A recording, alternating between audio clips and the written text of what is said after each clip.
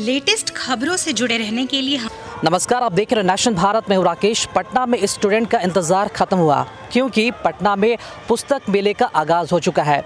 पटना के गांधी मैदान में पटना बुक फेयर लगा है और इस बार पटना बुक फेयर का जो थीम है, आइए हम आपको बताते हैं क्या ख़ास है इस पटना पुस्तक मेले का जो थीम है, वो रखा गया है यहाँ पर। देख सकते हैं कि पटना पुस्तक मेले का जो मुख्य द्वार है, काफ़ी आकर्षित तरीके से इसे डिज़ाइन किया गया है। और इसके मेन थीम की बात की जाए तो इसके बार, इसका जो तो थीम रखा गया है, वह है पेड़, पानी और ज़िंदगी, जो हमारे जीवन का सबसे अमूल्य हिस्सा उसे माना जाता है। पेड़ को, पानी को और ज़िंदगी को। पेड़, पानी यानी कि अगर आप पेड़ बचाते हैं तो पानी बचाते हैं, और पानी बचाते हैं तो आपकी लाइफ बचती है, आपकी ज़िंदगी बचती है। इसलिए ज़्यादा से ज़्यादा पेड़ लगाइए, पेड़ लगाएँगे तो पानी रहेगा, और पानी रहेगा तो हम रहेंगे और हमारा पर्यावरण रहेगा। तो इस पुस्तक मेले में 2019 का पुस्तक मेला कितना ख़ास है, आपके लिए, पटनाइट्स के लिए। आइए, अंदर चलते हैं और आपको बताते हैं।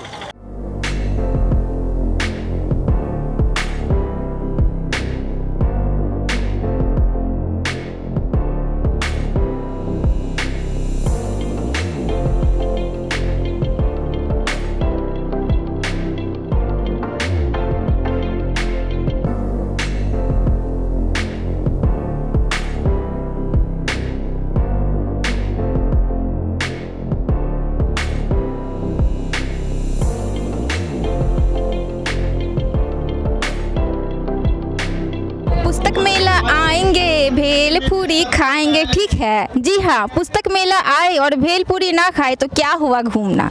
चलिए, अब हम आपको दिखाते हैं क्या क्या है यहाँ खाने की चीज़ें।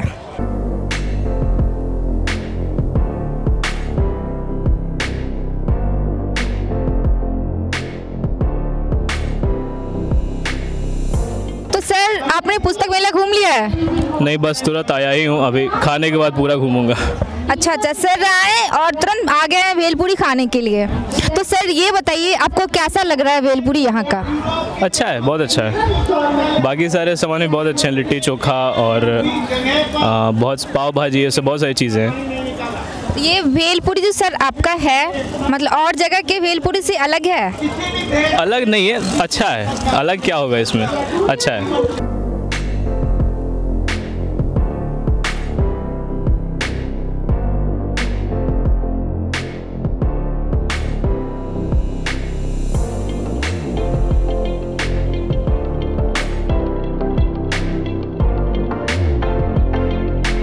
जी सर बताइए ब्रेड पकौड़ा और ये जो है पकौड़ा के बारे में कुछ बताइए कैसे बनता है ये? वेज पकौड़ा में सारा चीज़ हाथ से कटिंग करना पड़ता है। पत्ता गोभी फूल गोभी और आलू जितने भी हरे सब्ज़ी सब मिला करके बनता है। और ब्रेड पकौड़ा में आलू का चोखा बना करके भर के बनता है वो बेसन में लपेट करके। तो अभी यानी कि ये जो भेज पकौड़ा है काफ़ी सारे इसमें वेजिटेबल्स तो हम ज़रूर चाहेंगे कि भेज पकौड़ा हमारे लिए आप ज़रूर बनाएँ। एकदम बनाएँगे। बिल्कुल मैं ज़रूर खाना चाहूँगी। बिल्कुल तो मैं और रिया बिल्कुल रेडी हैं भेज पकौड़ा खाने के लिए। कुछ ही पलों का इंतज़ार है।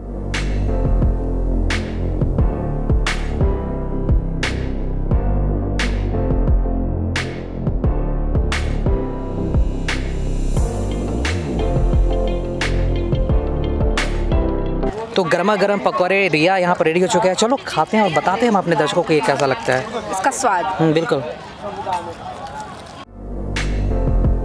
वाह बहुत अच्छा टेस्ट है नाइस है। और मुझे उम्मीद है कि अगर आप भी पटना पुस्तक मिले आएँगे तो आपको ये जो भेज पकौड़ा है ना बहुत ही खाने में आनंद आया क्योंकि काफ़ी सारे वेजिटेबल को मिक्स करके इसमें बनाया गया है और यार ये बताओ तुम्हें कैसा लग रहा है? मुझे तो बहुत अच्छा लग रहा है। हम्म, मन कर रहा बहुत खाऊं। तो ठीक है खा लो ना कौन रखा करके घर भी ले जाओ। तो बिल्कुल इस भेज पकौड़े को मैं तो दस में से दस दूँगा। राकेश सबसे ज़्यादा स्पेशल इसलिए लगा बुक फेयर क्योंकि यहाँ की जो थीम है पेड़ पानी और ज़िंदगी उसी के बेसिस पे बनाया गया है। जी बिल्कुल आपने सही कहा पेड़ पानी और ज़िंदगी। पुनः एक बार फिर से मैं रिपीट करता हूँ कि पेड़ पानी ज़िंदगी। पेड़ बचाइए पेड़ लगाइए पौधे लगाइए। अगर पेड़ रहेंगे तो पानी रहेगा पानी रहेंगे तो हम रहेंगे रिया रहेंगी और आप रहेंगे और हमारा यह पर्यावरण रहेगा।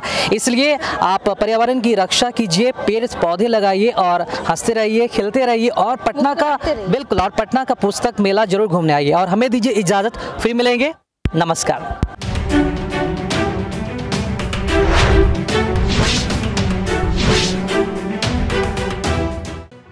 लेटेस्ट खबरों से जुड़े रहने के लिए हमारे चैनल नेशन भारत को सब्सक्राइब करें और बेल आइकन को दबाएँ ताकि कोई खबर छूट न पाए।